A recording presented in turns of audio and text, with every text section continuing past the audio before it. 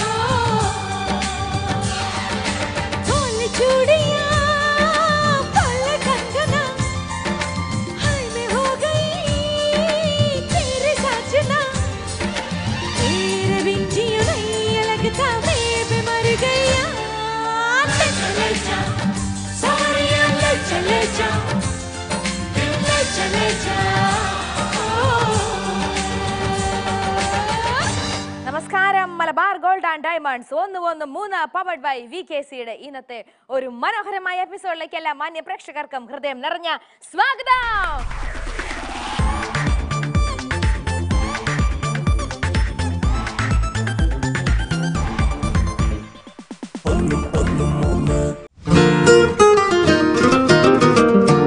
ഒരുപാട് വർഷമായിട്ട് പരിചയപ്പെടാൻ വൈകി പോയല്ലോ എന്ന് തോന്നിപ്പിക്കുന്ന ഒരു മുഖഭാവം. നിങ്ങളുടെ കഴിവായിരിക്കും. നാണം എന്താന്ന് പോലും മനസ്സിലാവുന്നില്ല കോട്ടയം ജില്ലയിലെ പാല മറ്റൊരു കലാകാരി കൂടി. രണ്ടുപേരെ വന്നിട്ടുള്ളൂ. ഒന്ന് ഞാനും അൽഫോൻസാമയും ചുണ്ടിൽ ലിപ്സ്റ്റിക് ലിപ്സ്റ്റിക് ഇരിക്കുന്നു. അതുകൊണ്ട് ചിരിച്ചാൽ രക്തരക്ഷസിന്റെ ഒരു ചിരി കാണുന്നു. ഒന്നും ഇട്ടില്ലെങ്കിൽ വളരെ ഭംഗിയാണ് മീൻസ് ഇവർ തമ്മിൽ നല്ലൊരു കണക്ഷൻ ഉണ്ട്. നിങ്ങളുടെ പരിചയത്തിന്റെ ആഴം അറിയാൻ എനിക്ക് ഒരു ആഗ്രഹം എന്നാണ് വിവാഹം എന്നൊരു സങ്കല്പത്തിലോട്ട് എത്തിച്ചേർന്നത്? എന്നെ കഴിഞ്ഞ ദിവസം ഒരു സീരിയലിൽ വിളിച്ചു പക്ഷെ പറഞ്ഞാൽ നിങ്ങൾ എല്ലാരും ചിരിക്കും അതുകൊണ്ട് ഞാൻ പറയത്തില്ല വല്ലാർമാടത്തമ്മയാണ്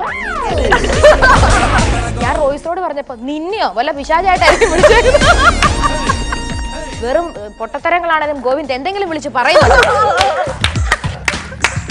അല്ല അങ്ങനെ ദ്രണ്യത ഏത് നാ- ഏതെങ്കിലും പെൺകുട്ടികൾ കണ്ടുപിടിച്ചിട്ടുണ്ട് അങ്ങനെയാണെങ്കിൽ ഒന്ന് കെട്ടിപ്പിടിക്കൂ இன்னும் கொஞ்ச நேரம் இருந்தாதா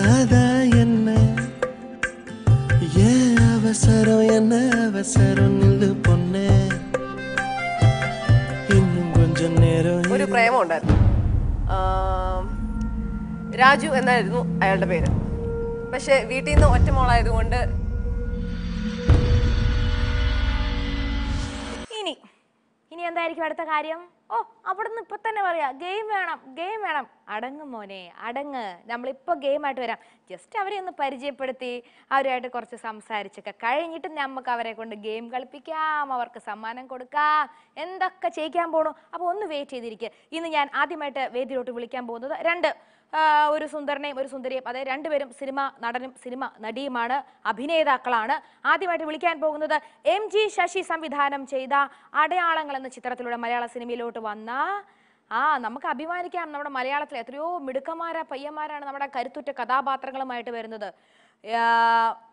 എന്താ പറയാ എം ജി ശശി സംവിധാനം ചെയ്ത അടയാളങ്ങളെ ചിത്രങ്ങളിലൂടെ വന്ന പിന്നെ ഒട്ടനവധി ചിത്രങ്ങൾ. ഇപ്പൊ ലാസ്റ്റ് നത്തോലി ഒരു ചെറിയ മീനല്ല സെവന്റി ടു മോഡൽ അങ്ങനെ ഒരുപാട് ചിത്രങ്ങളിൽ തന്റെ അഭിനയ പാഠവും അഭിനയ വൈപുണ്യം നൈപുണ്യം ആ സോറി അഭിനയ നൈപുണ്യം പ്രകടിപ്പിച്ചുകൊണ്ടിരിക്കുന്ന കാണാനും വളരെ മിടുക്കനായ മുടിയൊക്കെ പാറി പറന്ന് കിടക്കുന്ന ഒരു സ്റ്റൈലൻ സെവന്റി ടു മോഡൽ സുന്ദരനെ അല്ല ഞങ്ങൾ അവിടെ അവതരിപ്പിക്കുന്നത്.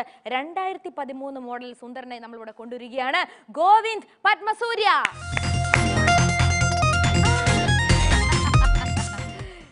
എന്ന് പറഞ്ഞപ്പോൾ ഇത്രയ്ക്ക് സൗന്ദര്യം ഞാൻ പ്രതീക്ഷിച്ചില്ല.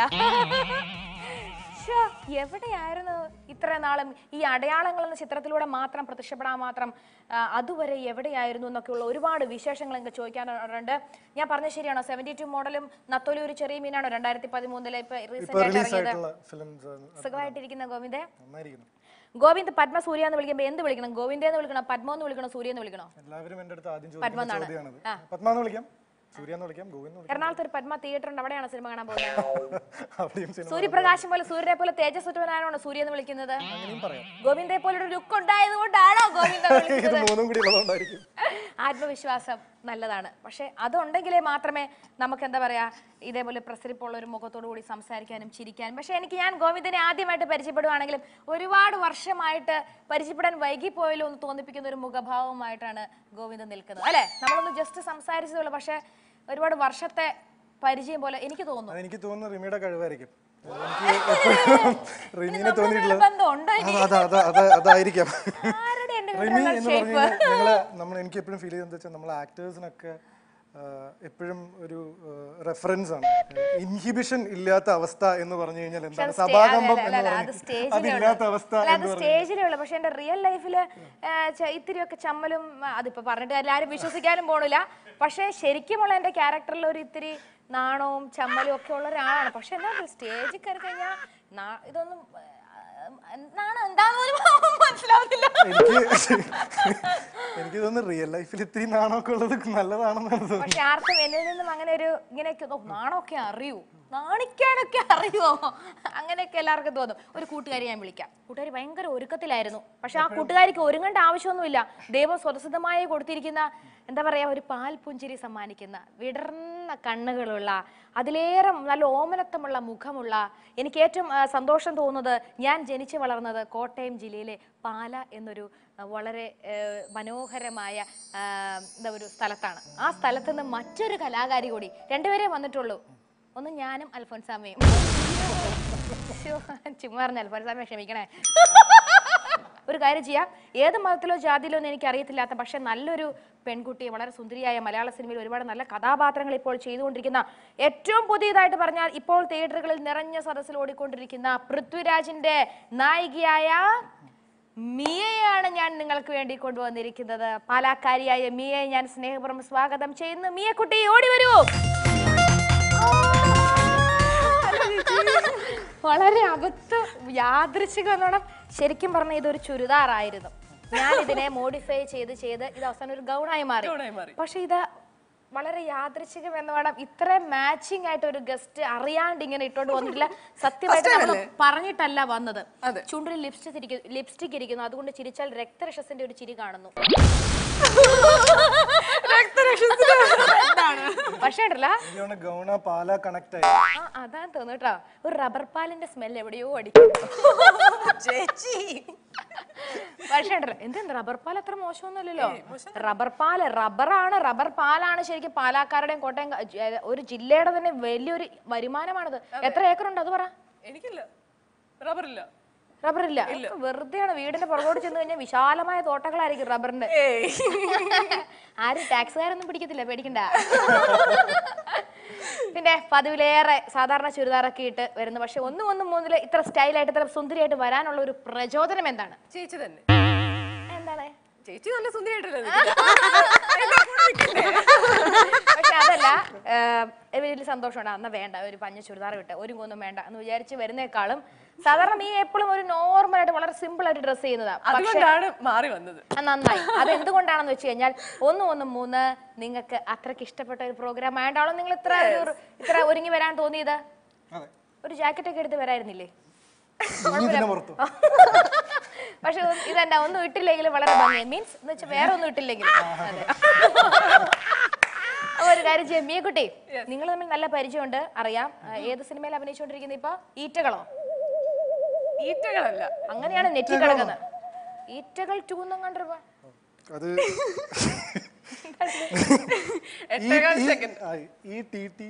ഓ എട്ടേകാലം ഈ ഈറ്റകൾ to അല്ല, എട്ടേകാൽ സെക്കൻഡ് ഞാൻ- ഇംഗ്ലീഷിൽ എഴുതിയപ്പോ. അല്ല അല്ല ഞാനോർത്ത് ഇപ്പൊ അങ്ങനെയുള്ള പഴയ പടത്തിന്റെ എല്ലാം ഇപ്പൊ പറങ്കി മല എന്നൊരു പടം വന്നു രതി നിർവേദം വന്നു അങ്ങനത്തെ ഈണകൾ അതിന്റെയൊക്കെ സെക്കൻഡ് പാർട്ട് പോലെ ഈറ്റകൾ എന്നൊക്കെ പറഞ്ഞ പടങ്ങളായിരിക്കും. അല്ല, അപ്പൊ എട്ടേകാൽ ടു എട്ടേകാൽ സെക്കൻഡ് ആ ശേ എട്ടേകാൽ സെക്കൻഡ് എന്ന ചിത്രത്തിൽ ഇവർ രണ്ടുപേരും ഇപ്പോൾ ജോഡികളായിട്ട് ആണോ? ആ. ആ. അഭിനയിച്ചുകൊണ്ടിരിക്കുന്ന സമയത്താണ് വിളിച്ചതുകൊണ്ട് ഇവർ തമ്മിൽ നല്ലൊരു കണക്ഷൻ ഉണ്ട്. ഇവർ തമ്മിൽ അങ്ങോട്ടും ഇങ്ങോട്ടും പരിചയക്കാരല്ല. അല്ലായിക ഇല്ലായ്മ കുറവൊന്നും ഇല്ലല്ലോ ഇല്ല വേണ്ട വിട്ടേ പത്മേ ഗോവിന്ദേ സൂര്യേ നമുക്കൊരു കാര്യം ചെയ്യാം. ഗോവിന്ദനായ പത്മനായ സൂര്യ നമഹ. നമുക്ക് മിയ ഇത്ര സുന്ദരിയായിട്ട് വന്നപ്പോ എനിക്കൊരു പാട്ടിലൂടെ സ്വീകരിക്കാൻ തോന്നുന്നു. ഏ നമുക്ക് രണ്ടര കൂടെ പാടാം. വായനക്കാലും മതി.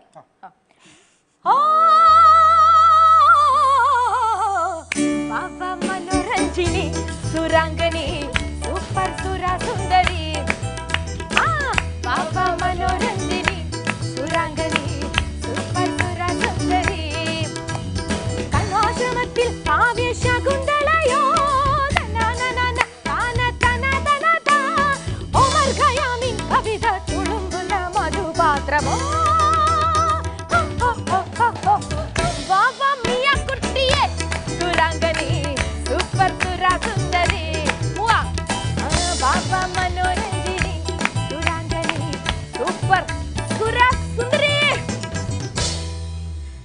കൂടുതൽ എനിക്ക് ഒരു ഇൻട്രൊഡക്ഷൻ തരാൻ അറിയില്ല കേട്ടോ കുട്ടി.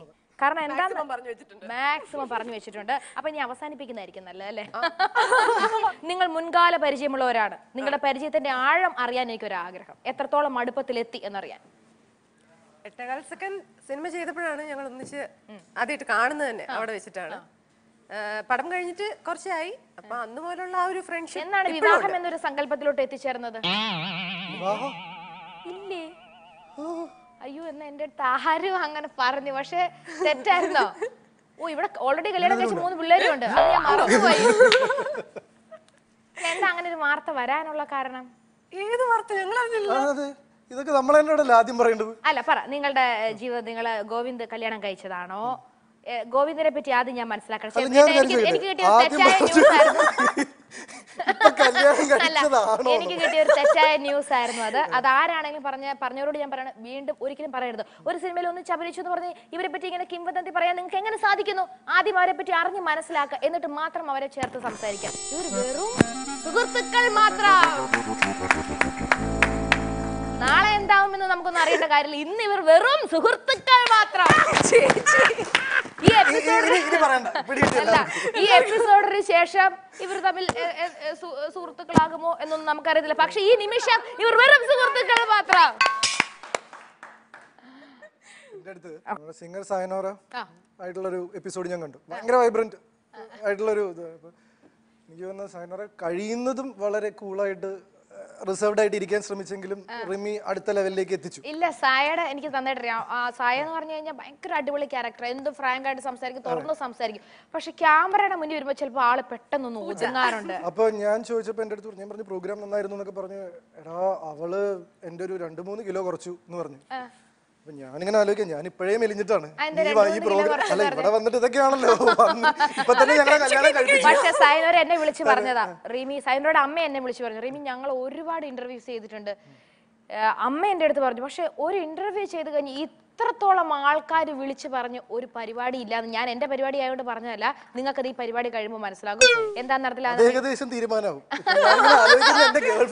മുഖങ്ങളാണ്. അല്ല, നല്ലതാണ്. വേറെ സന്തോഷം എന്ന് വെച്ചാൽ ഗോവിന്ദ് നന്നായി സംസാരിക്കുന്നുണ്ട്. ഒന്നും സംസാരിക്കില്ലാത്ത ചില ഗസ്റ്റുകൾ വന്നിട്ട് ഞാൻ ഇവിടെ തലയും കൊത്തി പറഞ്ഞ് മൂന്ന് മണിക്കൂർ എന്റെ തൊണ്ടയിലെ വെള്ളം വറ്റിച്ച് സംസാരിച്ച് കൊണ്ടുപോകുന്നേക്കാൾ എത്രയോ ഭേദമാണ്. വെറും പൊട്ടത്തരങ്ങളാണെങ്കിലും ഗോവിന്ദ് എന്തെങ്കിലും വിളിച്ച് പറയുന്നുണ്ട്. നമ്മൾ കുട്ടിക്കാലം മുതലേ നമ്മൾ സംസാരിക്കുന്ന ആളുകളുടെ ലെവലിൽ നിന്ന് സംസാരിക്കുക എന്നുള്ളൊരു ശീലം. പിന്നെ എന്താന്ന് വെച്ച് കഴിഞ്ഞാൽ അല്ല അത് അത് നല്ലതാ. അത് നല്ല കാര്യമാണത് എപ്പോഴും ചിലർക്ക് സംഭവിക്കുന്നത് എല്ലാരും ആ ലെവലിന് അപ്പുറമാണെന്ന് വിചാരിക്കുമ്പോഴാണ് അവർ സംസാരിക്കേണ്ടാവുന്നത്. എന്റെ ലെവലിലാണെന്ന് വിചാരിച്ചെങ്കിൽ സംസാരിച്ചാൽ മതി. അപ്പൊ നല്ലൊരു ലെവലിൽ എത്തും പിന്നെ ലെവലില്ലായക വരും ചിലപ്പോ. പിന്നെ എനിക്ക് ഗോവിന്ദ് മിയാനെ പറ്റി പറയാനാണെങ്കിൽ മിയ ആദ്യ പടം എന്ന് പറയുന്നത് ആദ്യ പടം അല്ല, ആദ്യം ശരിക്കും സീരിയലിലൂടെയാണ് വന്നത് അല്ലേ?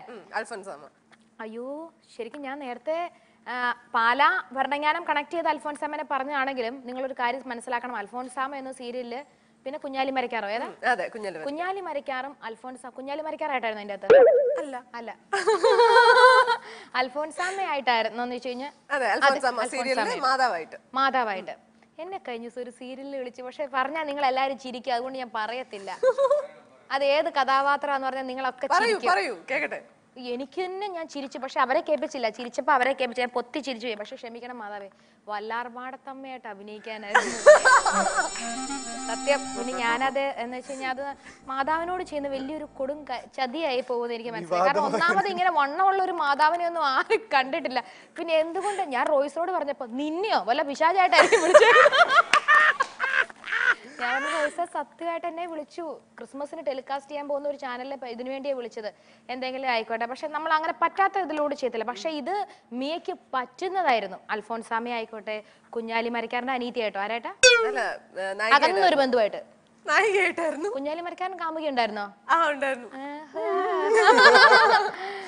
കുഞ്ഞാലി മരക്കാരന്റെ എന്ന് വെച്ചാൽ നല്ല രണ്ട് ചരിത്ര പ്രധാനമായ കഥാപാത്രങ്ങൾ ചെയ്തിട്ട് പിന്നെ ആദ്യ സിനിമയിലോട്ട് ആരാ വലിച്ചഴിച്ച് കൊണ്ടുവന്നത്? രാജസേനൻ സർ. അല്ലാണ്ട് അമ്മയല്ല. അല്ല.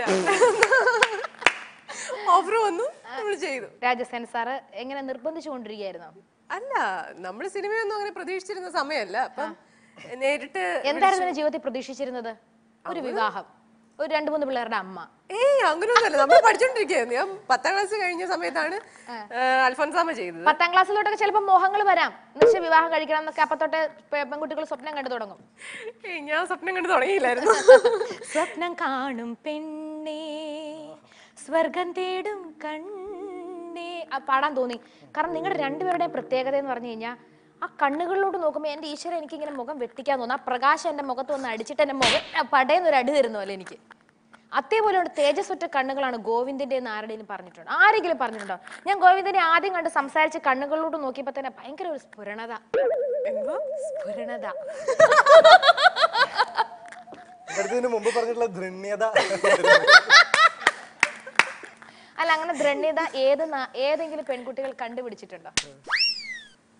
അങ്ങനെ എനിക്ക് ഗോവിന്ദ ഗോവിന്ദിന്റെ കണ്ണുകളിലോട്ട് നോക്കാൻ പറ്റണില്ല. എന്റെ അമ്മ എന്തോ ഭയങ്കര ട്യൂബ്ലൈറ്റ് ഇട്ട് വെച്ചേക്കുന്ന പോലത്തെ ഒരു പ്രകാശം എന്നൊക്കെ പറഞ്ഞു. ജ്യോതിർമയി പറഞ്ഞിട്ടുണ്ടോ? ജ്യോതിർമയി ആയിരുന്നു അടയാളങ്ങൾ എന്ന ചിത്രത്തിൽ ഗോവിന്ദിന്റെ നായിക. അന്ന് മൊട്ടത്തലയല്ലായിരുന്നു ആ സിനിമയിൽ? അത്. ഞാനിങ്ങനെ മാസികയിലൊക്കെ അന്ന് ആ ഫോട്ടോ കണ്ടു. ജ്യോതിർമയി അന്ന് ഭയങ്കര സ്റ്റാർ ആയിരുന്നു ഇന്നും സ്റ്റാർ തന്നെ.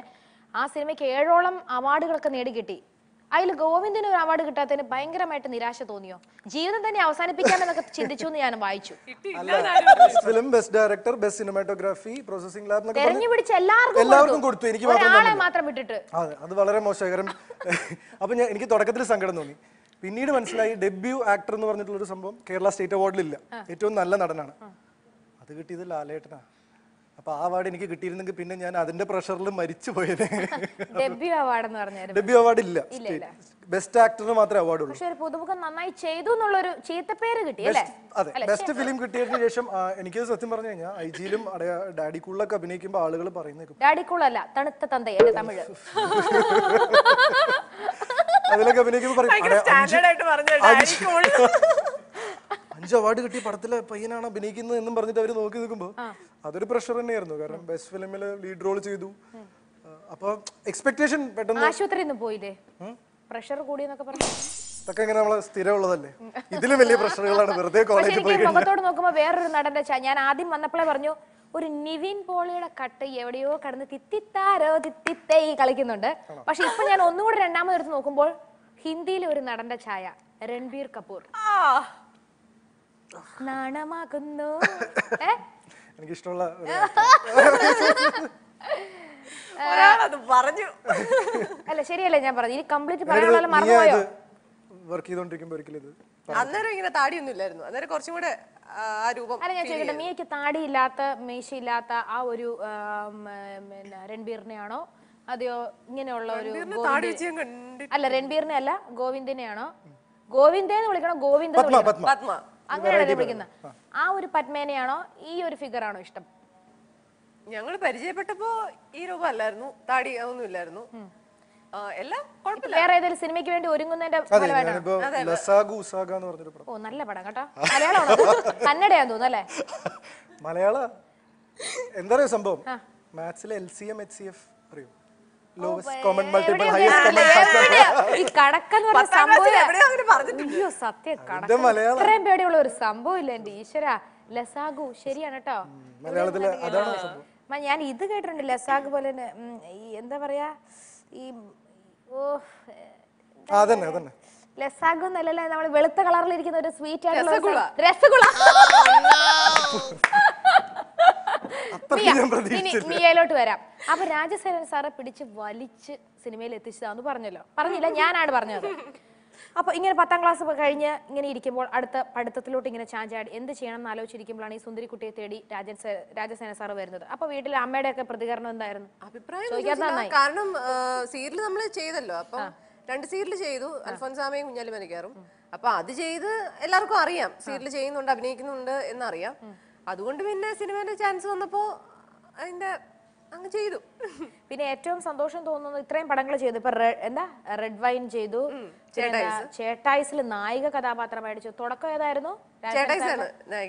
അല്ല അതിന് മുമ്പ് അഭിനയിച്ച പടങ്ങൾ? സ്മോൾ ഫാമിലി ചെയ്തു. നവാഗതർക്ക് സ്വാഗതം എന്ന് പറഞ്ഞിട്ട് ഡോക്ടർ ലവ് അതൊക്കെ കൊച്ചു കൊച്ചു റോളുകളായിരുന്നു മെയിൻ റോളായിട്ട് വന്നത് ചേട്ടായിസിലായിരുന്നു. അതൊരു ഉഗ്രൻ സിനിമയായിരുന്നു. അതിൽ ഇത്ര മിയയ്ക്ക് ശരിക്കും പറഞ്ഞ വലിയ പ്രായമൊന്നും ഇല്ല കൂടി വന്ന പതിനാറ് വയത് വയതിനിലെ സിന്ദൂരപ്പൂവായിട്ടിരിക്കുന്ന ഒരു കുട്ടിയാണ്. പെട്ടെന്ന് ആ പാട്ട് വിളിച്ചോ സിന്ദൂരപ്പൂവേ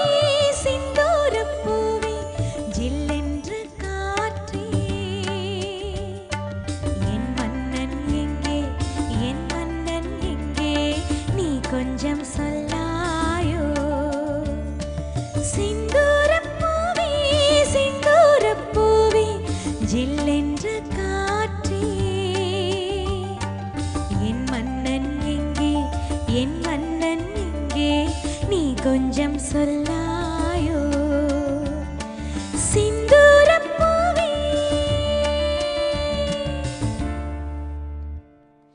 ഈ പാട്ട് കേൾക്കാ കണ്ടപ്പോൾ ഞാൻ ഒന്നും കൂടെ പറയുകയാണ് മിയനെ ഞാൻ പല സിനിമകളിലും നേരിട്ടൊക്കെ കണ്ടതിനേക്കാൾ മിയ ഇപ്പൊ ഈ പരിപാടി ടെലികാസ്റ്റ് ചെയ്യുമ്പോൾ നോക്കിക്കോളൂ ഇത്ര സുന്ദരിയായിട്ട് ചിലപ്പോൾ ഒരു സ്ഥലത്തും മിയ കണ്ടിട്ടുണ്ടാവില്ല കാരണം ഈ ഗൗണിന്റെ ആണോ ആ മുഖത്തിന്റെ ഭംഗി കൂടിയവന്റെ ആണോ അത്ര സുന്ദരിയായിട്ടിരിക്കുന്നു. ഞങ്ങളുടെ പരിപാടിയിൽ ഞങ്ങളുടെ ഫ്രെയിമിൽ കൂടെ മനോരമയുടെ ക്യാമറ കണ്ണിലൂടെ നോക്കുമ്പോൾ ആ സൗന്ദര്യം ഒരു എന്താ പറയാ അവർണനീയമായ ഒരു സൗന്ദര്യമായിരിക്കും. ശരിയാണോ ഗോവിന്ദേ? അങ്ങനെയാണെങ്കിൽ ഒന്ന് കെട്ടിപ്പിടിക്കൂ. അല്ല ഗോവിന്ദ് ശരിക്കും മാരീഡ് ആണോ? അല്ല അല്ല അതൊക്കെ ആദ്യം പറയണ്ട ഞാൻ ആദ്യം അനൗൺസ് ചെയ്തു. മൂന്ന് പിള്ളേരുടെ തന്തേന്നൊക്കെ അഡ്ജസ്റ്റ് ചെയ്തോളാം. അപ്പൊ നമുക്കൊരു കാര്യം ചെയ്യാം. നിങ്ങളെ കുറച്ച് എന്റർടൈൻ ചെയ്യിക്കാൻ പോവുകയാണ് നമ്മൾ. ഒന്ന് ഒന്ന് മൂന്നിന്റെ ഏറ്റവും വലിയ ഒരു ഹൈലൈറ്റ്സിൽ ഒന്നാണ് ശരിക്കും നമ്മുടെ എന്താണ്?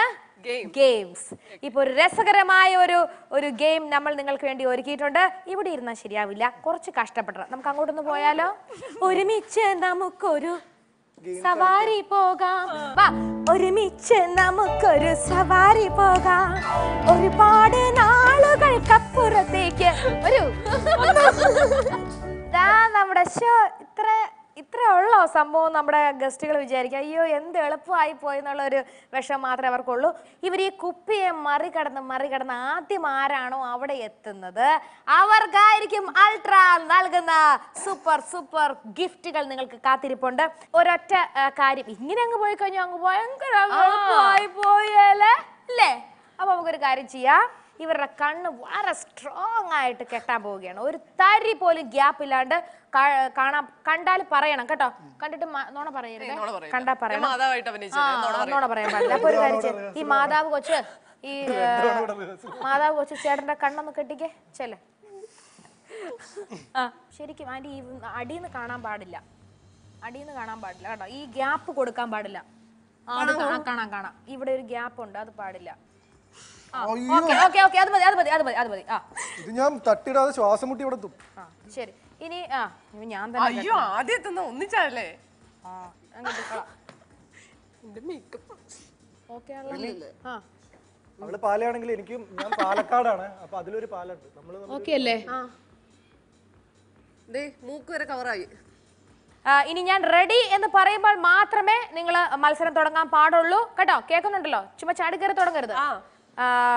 നമ്മുടെ മത്സരം ആരംഭിക്കുവാൻ ഏതാനും നിമിഷങ്ങൾ ബാക്കി നിൽക്കവേ ഒരു പ്രാവശ്യം കൂടെ ഞാൻ റൗണ്ടുകൾ പറയുകയാണ് ഈ കുപ്പിയെ മറികടന്ന് വേണം ഇവർ കുപ്പി തട്ടി വീഴ്ത്താണ്ട് വേണം ഇവർ ഫ്രണ്ടിലെത്താൻ ആദ്യം എത്തുന്നത് ആരാണോ അവർക്കായിരിക്കും അൾട്രാ നൽകുന്ന gift ready time starts now ready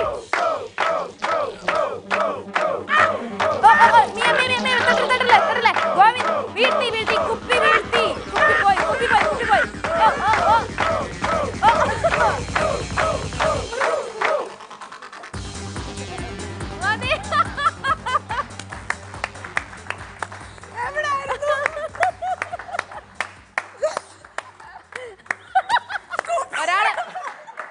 ഒരാൾ ഇതും ഒരാൾ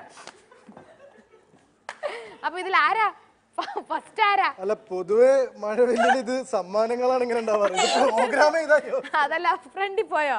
വീണോ? ഞാൻ വീണ്. അപ്പൊ ഒരു കാര്യം ചെയ്യ്. ഏറ്റവും ഫ്രണ്ട് ചെന്ന കുഴിലോട്ട് വീണ നമ്മുടെ പത്മനാണ്. പത്മനാഭൻ എന്ന് മതിയോ? പത്മ. അയ്യോ പക്ഷെ എനിക്ക് ശരിക്കും കുപ്പി ഞാൻ തട്ടി വീഴ്ത്തിയ പോലെയൊക്കെ തോന്നി. അപ്പോ അതിവേഗം ബഹുദൂരം എന്ന പോളിസി മുന്നിൽ കണ്ടുകൊണ്ട് ഏറ്റവും മുന്നിൽ ചെന്ന് പടുകുഴിയിലോട്ട് വീണ നമ്മുടെ പത്മനാഭൻ പത്മനാണ്. പത്മൻ വേണോ? എന്താണ്? പപ്പൻ. പപ്പൻ. പപ്പനാണ് പപ്പൻ പ്രിയപ്പെട്ട പപ്പനാണ് ഇതിവിടെ വിജയായിരിക്കുന്നത് പക്ഷേ ഇങ്ങനെയാണെങ്കിലും പോയി. അവിടെ അവിടെ അവിടെ എത്താൻ ശ്രമിച്ച നമ്മുടെ മിയാക്കുട്ടിയെ നമ്മൾ വിഷമിപ്പിക്കാൻ പാടില്ല. കാരണം ഗൗണ് അതൊന്ന് ഇട്ട് നോക്കുമ്പോൾ അതിന്റെ ബുദ്ധിമുട്ട് അറിയുള്ളൂ നിർത്ത് ചിരി നിർത്തടോ. ഞാനത് എന്താ ശരി? എന്റെ അടുത്തേ അവിടെ വെച്ച് ഞാൻ പറഞ്ഞു നിങ്ങൾ തമ്മിൽ കല്യാണം കഴിക്കാൻ പോവാണല്ലോ എന്നൊക്കെ പറഞ്ഞിട്ട് അതങ്ങ് വിട്ടു. അത് കഴിഞ്ഞ് ഇപ്പൊ ഇങ്ങ് വരുന്ന വഴിക്ക് എന്തിനാ അങ്ങനെ പറഞ്ഞേ? ഞാൻ പലതും പറയും. അത് അവിടെ തന്നെ അങ്ങ് വിട്ടു. അത് ഇനി ഓർത്തായ ഇറക്കിക്കൊണ്ട് സ്വപ്നം കണ്ട സമയമൊന്നും അല്ല. കഴിഞ്ഞു അത്. നിങ്ങൾ തമ്മിൽ യാതൊരു ബന്ധവുമില്ല. ആ ഒരു യാഥാർത്ഥ്യം മനസ്സിലാക്കുക. ഓക്കെ? ഇനി അപ്പോൾ നമ്മുടെ മിയക്കുട്ടിയെ നമ്മൾ വിഷമിപ്പിക്കുന്നില്ല. രണ്ടു പേർക്കും നമ്മളിപ്പോൾ സമ്മാനം കൊടുക്കാൻ പോവുകയാണ്. കേട്ടോ? കാരണം ഇതിൽ ശരിക്കും പറഞ്ഞ ഒരു വിന്നറിനെ കണ്ടുപിടിക്കാൻ പറ്റത്തില്ല. ഇങ്ങനെ ഓടി ചാടി ചെന്ന് അതിനപ്പുറം ചാടാൻ പറ്റും. ഒരു സ്റ്റെപ്പും കൂടെ പോയിരുന്നെങ്കിൽ നിങ്ങൾ ഞങ്ങൾ രക്ഷപ്പെട്ടാതെ. അത്ര തന്നെ. അപ്പൊ ഒരു കാര്യം ഞാൻ ഇപ്പൊ സമ്മാനമായിട്ട് വരും. ചേച്ചി ഇപ്പൊ വരാം കേട്ടോ? Ultra Endura plus stainless steel pressure കുക്കറാണ് ഒരുപാട് പ്രഷർ ഉള്ള ആളാണെന്ന് നേരത്തെ പറഞ്ഞല്ലോ. എന്ത് കാര്യത്തിലായിരുന്നു പ്രഷർ എന്ന് പറഞ്ഞാൽ ഏതോ കാര്യത്തിൽ പ്രഷർ ഉണ്ടെന്ന് പറഞ്ഞു പെർഫോമൻസ് അണ്ടർ പ്രഷർ ആ ഓക്കെ പെർഫോമൻസ് അണ്ടർ പ്രഷറോ ഓക്കെ അങ്ങനെ ഒരു പ്രഷർ കണ്ടിട്ടില്ല കേട്ടോ. കേട്ടിട്ടില്ല. അപ്പൊ നല്ലൊരു കൈയടി കൊടുക്കാം നല്ലൊരു കൈയടി കൊടുക്കാം. അപ്പൊ എന്താ പറയാ തമാശയ്ക്ക് നമ്മൾ കുറച്ച് കാര്യങ്ങൾ ഇവരുടെ പറഞ്ഞു. പിള്ളേരാണ് ഇവർ ശരിക്കും നല്ല ഫ്രണ്ട്സ് ആണ്. എന്നൊക്കെ ഇരുന്നാലും പത്മയുടെ മനസ്സിൽ ഒരു ആഗ്രഹം പെട്ടെന്ന് കയറിപ്പോയി കേറിപ്പോയി. പെട്ടെന്ന് അങ്ങനെ വിവാഹവും കാര്യങ്ങളൊക്കെ പറഞ്ഞപ്പോൾ ഇത്തിരി ഒന്നും ആഗ്രഹിച്ചില്ല എന്ന് പറയാൻ പറ്റുമോ അല്ല ഒരു ആ ഒരു ഒരു ആഗ്രഹം വന്നു. അപ്പൊ ഒരു കാര്യം ഞാൻ ആഗ്രഹം അങ്ങ് തീർത്ത് കളയാം. ഇപ്പൊ ഒരു നല്ല മനോഹരമായ ഒരു റൊമാന്റിക് സോങ് ഞങ്ങൾ ഇവിടെ പ്ലേ ചെയ്യുമ്പോൾ പത്മ പത്മയുടെ ഉള്ളിൽ കിടന്നുറങ്ങുന്ന ആ ബോളിവുഡ് നടനെ എടുത്ത് ഇങ്ങോട്ട് പുറത്ത് വലിച്ചങ്ങിടുക വലിച്ചങ്ങ് ഇങ്ങോട്ട് ഇടുക. പിന്നെ ആ നായകൻ ഇവിടെ കടന്ന് കളിച്ചോളും. കേട്ടോ? ആ നായകനും നീ എന്ന നമ്മുടെ കോട്ടയംകാരിയുമായിട്ട് ഒരു യുഗ്മ വളരെ ശരിക്കും പറഞ്ഞാൽ നിങ്ങൾ നിസ്സാരമായിട്ട് കാണരുത് കേട്ടോ. ഈ പ്രോഗ്രാം അത്ര വ്യൂഷിപ്പ് ഉള്ള ഒരു പ്രോഗ്രാമാണ് ഇത് കാണുന്ന ഒരു ഡയറക്ടർ തോന്നും അയ്യോ ഇവരെ തമ്മിൽ അങ്ങ് ഒരുമിപ്പിച്ചാലോ ഇവരെ ചേർത്തിട്ട് ഒരു നല്ലൊരു ഒരു പടം അങ്ങ് ഇറക്കിയാലോ എന്ന് തോന്നിപ്പിക്കുന്ന രീതിയിൽ അത്ര ഇഴുകി ചേർന്നുള്ള ഒരു കോമ്പിനേഷൻ സോങ് ആണ് നമ്മൾ നിങ്ങൾക്ക് വേണ്ടി പ്ലേ ചെയ്യാൻ പോണത് എൻജോയ്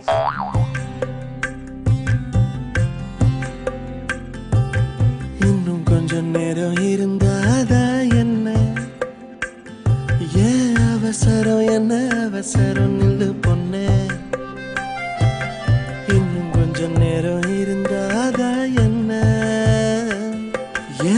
அவசரம் என்ன அவசரம்? நில்லு பொண்ணே. இன்னும் கொஞ்சம் நேரம் இருந்தாதா என்ன? ஏன் அவசரம் என்ன அவசரம்? நில்லு பொண்ணு. இன்னும் பேசக்கூட தொடங்கலையே. நெஞ்சமும் கொஞ்சமும் நிறையல இப்போ என்ன விட்டு போகாதே என்ன விட்டு போகாதே. இன்னும் பேசக்கூட தொடங்கலையே. 却问广厦梦难